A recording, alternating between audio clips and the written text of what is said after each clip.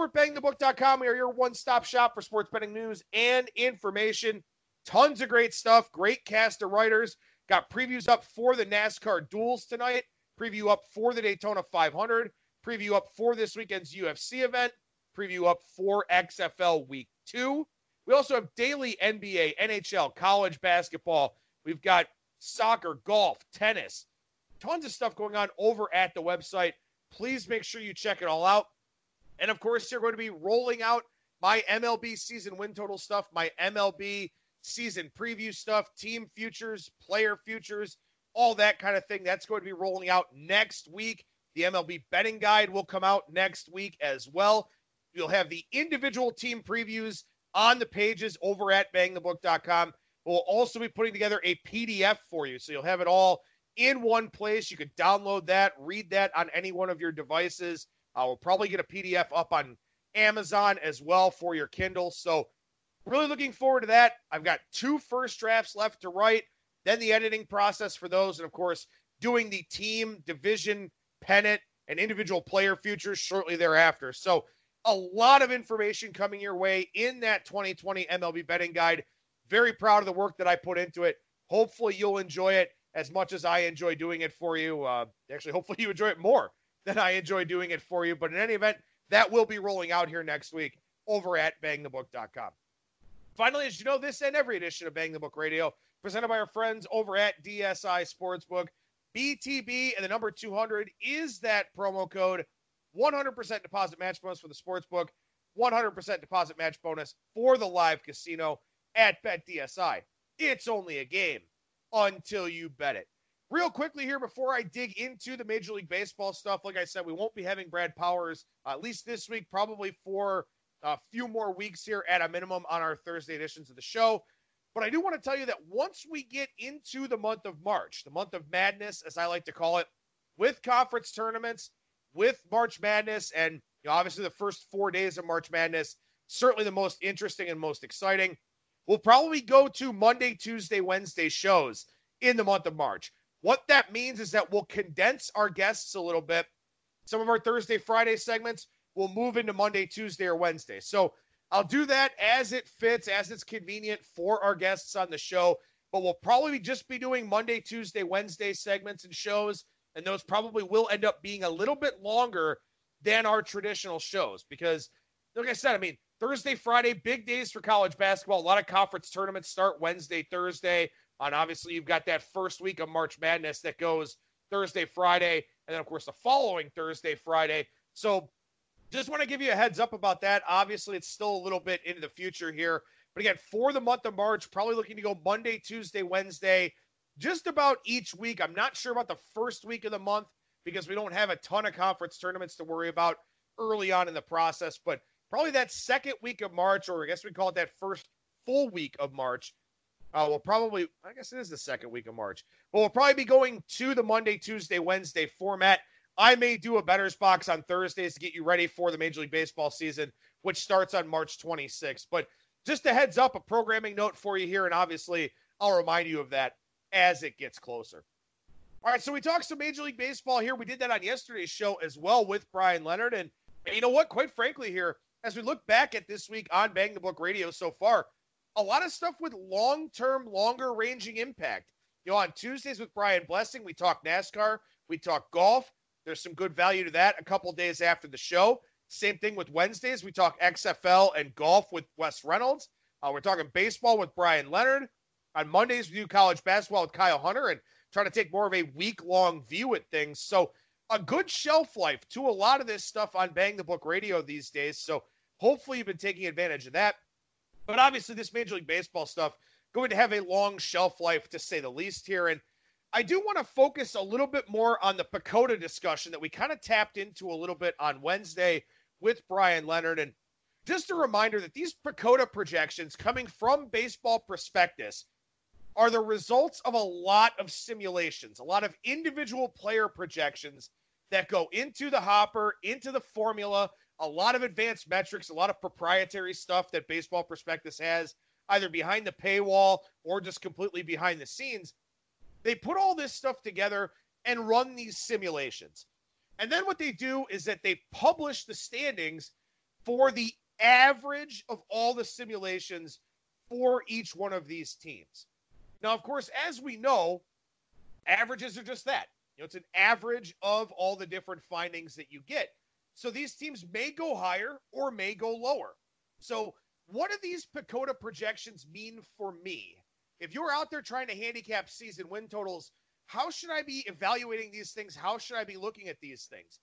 Well, something that's really cool over at Baseball Prospectus on the page with the PECOTA standings, you can see the distribution of the simulated wins, the distribution of the records. That is what has value to me.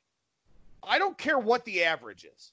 I do not care at all whatsoever what PECOTA comes up with as an average.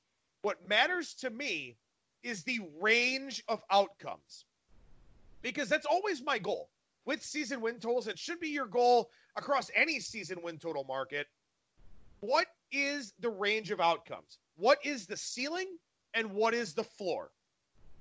Now, what the PECOTA projections are going to do is that they're going to create this ceiling and this floor for you. And then obviously, the most popular results will kind of be clustered in there. Well, what's nice is that over on the PECOTA standings page, you can see that distribution. You can see where those peaks are. You can see kind of where the starting point and the end point is for each respective team. So as we take a look around here, you know, you see a team like the Tampa Bay Rays where they don't come to a point. They don't have kind of that bell curve format that a lot of these teams have. They kind of go up and then flatten out and then come back down. So what that tells me is that Tampa Bay has a wide range of outcomes because there's not one predominant number or one predominant range within the greater range. You look at a team like Baltimore, for example, right around 62, 63 wins, you see it come to a point. It's very bell curve like with Baltimore. So what does that tell me? Well, Baltimore's not going to be very good, which we already knew, but that PECOTA in most of their simulations projects them for about 100 losses, projects them for about 62 or 63 wins, which I still think is actually too high. I'll talk more about that in a second. But you have a very well defined range of likely outcomes based on the PECOTA simulations as a general rule, and I mentioned this before and I mentioned this yesterday, I generally don't like playing season win totals that are too high or too low. Last year, the Marlins were an exception. Last year, I played the Marlins under 63 and a half. That one came through for us, but that was by and large because of the other four teams in that division, the 76 head to head games that the Marlins had to play. The thing is, the Marlins, over the, most of the first half, were actually on pace to fall right around their season win total line. So you do still need a lot of things to go right or a lot of things to go wrong with these extremes of the win total betting odds market. So that was a scary one for me. I wound up playing it. It did win, but by and large, I don't play a lot of high season win totals, and I don't play a whole lot of low season win totals. Why?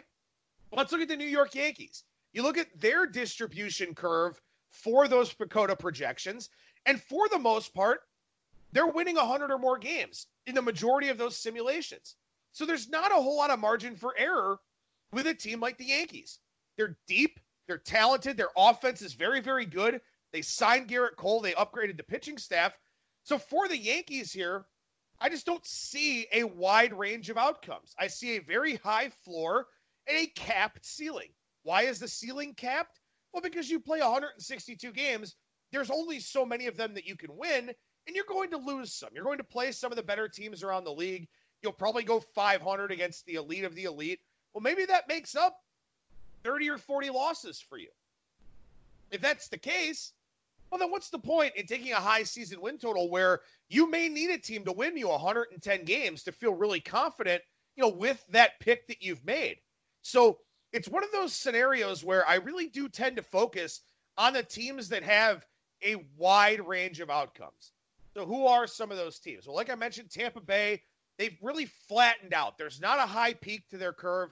They flatten out. So, that's a team that PECOTA has a wide range of outcomes for. The Cleveland Indians are another one.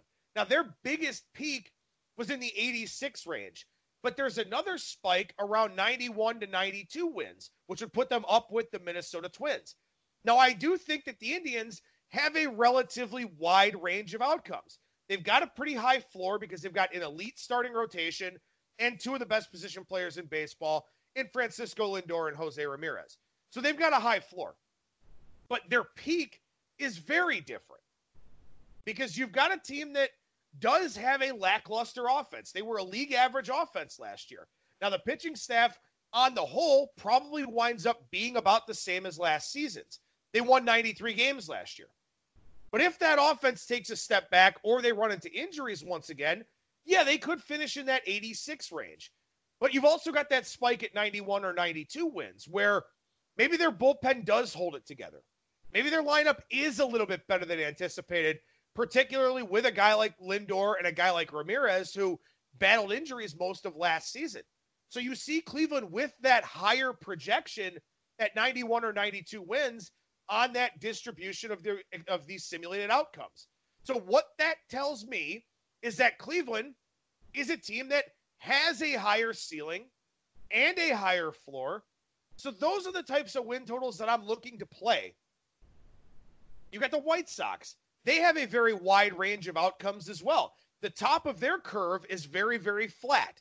So, what that means is that there are a lot of different ways that this season could go, and the simulations said as much. So when I look at a team like the White Sox and I look and you know their average was around 83 wins, to me I think their ceiling is 85 or 86 wins. I don't see enough going right for them that they wind up being a team with a 15 plus win improvement off of last year's results. So because they've got this large range of outcomes to me, that's a team I want to try to attack. That's a team where I feel like I've got the right level of variance to make a concrete decision. Because that's what I'm looking to do. I'm looking to prey when it comes to the season win total market on uncertainty. I'm looking to prey on variance because I think with the way that I analyze and evaluate Major League Baseball, I can do a good job projecting these players, projecting these teams, kind of looking at these situations for these respective teams, and then using that high variance environment to my advantage because the books are going to put up a number that they think balances action as much as possible. I may not agree with that number. I may not agree with the projections that are out there. So I'm going to fire on those teams. And the White Sox here, a team with a large range of outcomes, it makes sense to me to focus in a little bit more on them. San Diego in the National League West is another one of those teams with a very wide range of outcomes. If you look at their distribution, again, there's no peak there's no apex to their bell curve. It's pretty flat for the most part. So that's a team that could win 90 games. That's a team that could be the National League wild card. That's also to me a team that could win 75 games. So when I get a big range, those are the teams I want to focus in on very closely because I think those are the teams where you get more season win total value. I talked about on yesterday's segment with Brian Leonard that you know the St. Louis Cardinals almost annually perform near their projections. They are very, very consistent. They're very close to their season win total. They're very close to their PECOTA numbers. They're very consistent. That's just their MO as an organization. Well, this year, PECOTA comes out very, very low with their projections, projecting them to be around a 500 team. And they've got a pretty high season win total in the upper 80s. Is that a team that I want to attack because PECOTA says something different?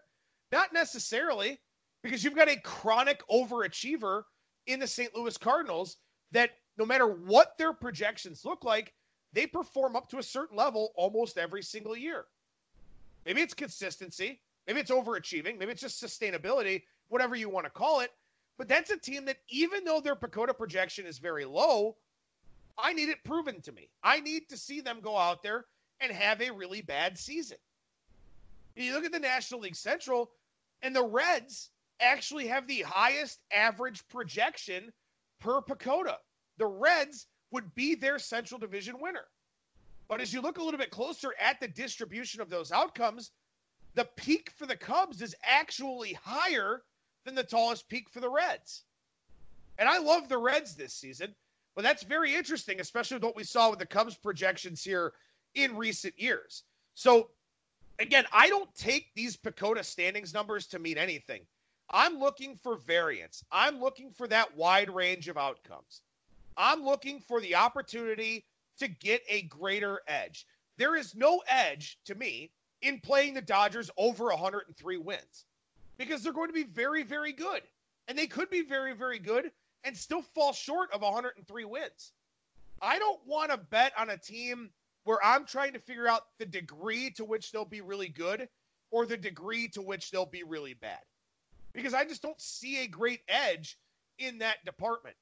The edges that I see are with these teams in the middle, with these teams generally in that 75 to 85 win range where there are a lot of things that could go right and they could wind up having a magical season. There are a lot of things that could go wrong and they could completely bottom out. But in a lot of cases, it's going to be some of both. Some things will go right, some things will go wrong. And what I want to try to figure out is which end of the spectrum they're most likely to fall on. And at that point in time, I take that season win total and I'll play it over or I'll play it under. So, what PECOTA essentially does for me is it reinforces my thought process on the teams that I think have a wide range of outcomes. And that's what I'm looking at. I do not care that it says the Phillies are going to win 78 games. I do not care that it says that you know, the Yankees are going to win 103 or, or whatever it says. I don't care. I want to see what the range is because you're going to have a much higher confidence level in saying, yeah, the Dodgers are going to win 105 games than you are in saying, well, the Angels are going to win 86 or 85. Because the Angels, as much as their improvements help with guys like Rendon and, you know, Justin Upton being back and some of their pitching enhancements, that's still a team that has fallen well short of projections several years in a row. So these are all things that you can factor into the equation. These are all things that I kind of take a look at here from a Major League Baseball standpoint. And this is probably a good time to remind the listeners out there that when I do the Bettor's Box every Monday and Thursday over the course of the baseball season, I do make my notes available to the listeners if they're interested. I had a sheet of about 200 people that were on the mailing list for the segment notes last year. If you want to get on that list, adam at bangthebook.com. Send me an email. Tell me you want to be on the list for the Bettor's Box notes. I talk about a lot of numbers, a lot of analytics, a lot of advanced concepts, things of that sort. And sometimes it can be a little bit difficult to follow along. So that's why I make my notes available to anybody that wants them. Again, Adam at bangthebook.com. And like I said, I'll probably be doing some of these Bettor's Box segments on Thursdays as we go through March Madness and, and the month of March. But, you know, primarily we'll be doing them here during the Major League Baseball season, which, of course, as we know, begins on March 26th.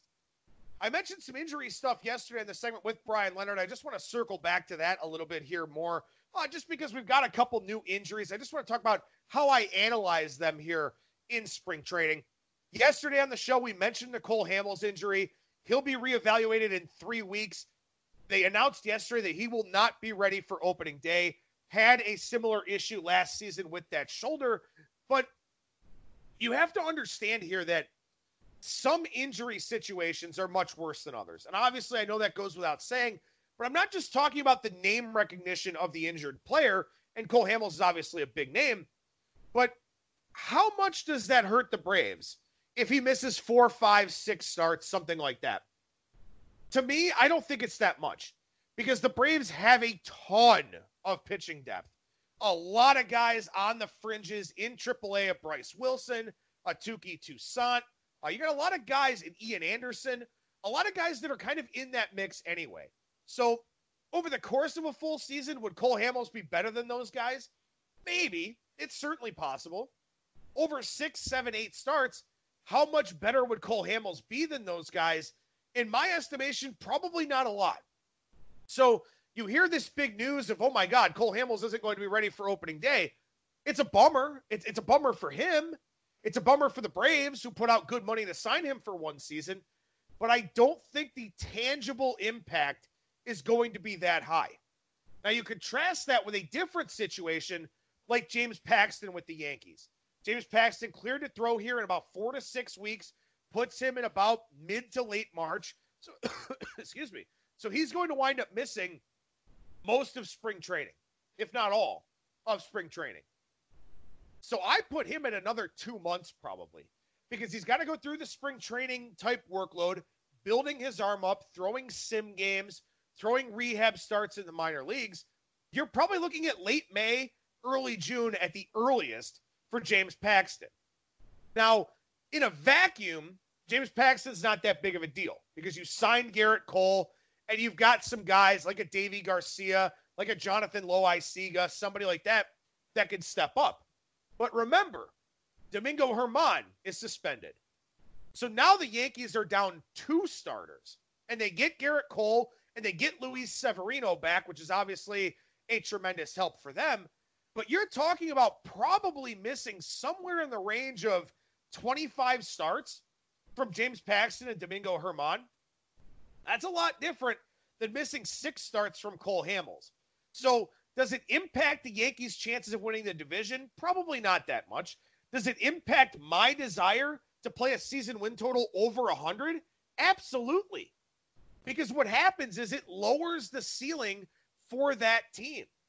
They can out hit anybody they want, and they've got an elite bullpen. And we may end up seeing the opener concept from them early on in the year, missing the two starters here and probably trying to take it easy with Severino. But they're still going to win a lot of games. So does it take me to a bet on the under? No. But it doesn't take me to a bet on the over, obviously, either.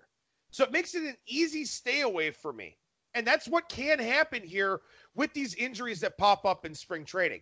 Now, a lot of injuries are going to be soft tissue type things. Gio Gonzalez, Yasmani Grandal, Lucas Giolito, all these guys for the White Sox dealing with some soft tissue stuff. The one that worries me is Gio Gonzalez because he's the older guy. He's a guy that you know, got off to a late start last season. He went through spring training with the Yankees, didn't get signed for a while, wound up getting signed by the Brewers. But you wonder how he holds up for the full season. Now, Gio Gonzalez is nothing special. He's a, you know, league average, maybe slightly better type of pitcher. But for the White Sox, who don't have good pitching depth, that's a bigger deal to them than it would be to, say, the Indians or the Braves, somebody like that. So Gonzalez is what I'm watching closely, simply because I think his innings are going to be better than the innings of anybody that replaces him. Now, to what degree? Well, that's the question.